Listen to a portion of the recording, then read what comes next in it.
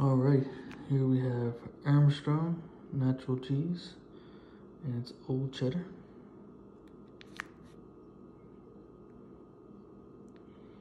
And this is a 270 gram block.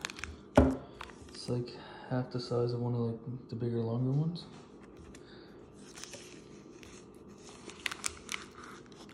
Take a look here at the nutrition facts.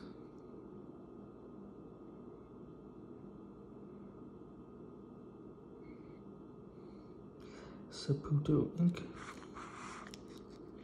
Little best before date stamped into the plastic.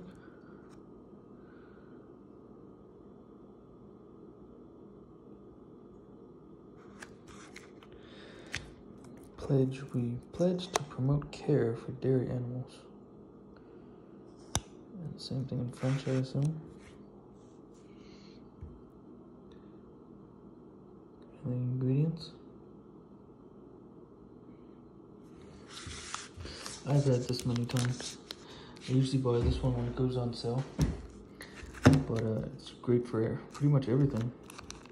Grilled cheese, cheese and crackers, uh, shredding putting on top of nachos or pizza. Or just cutting off a slice and eating a slice. If I'd say out of 10, I'd give this a solid 8. The taste is good, the quality is good, and the freshness is usually good too. So I de definitely recommend. And it's worth trying. Armstrong, like I said, it's been around a while. It says 1902.